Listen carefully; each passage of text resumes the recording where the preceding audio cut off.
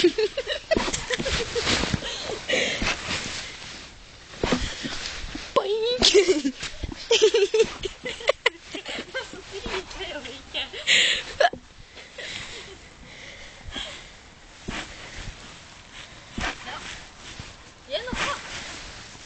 Det er greit!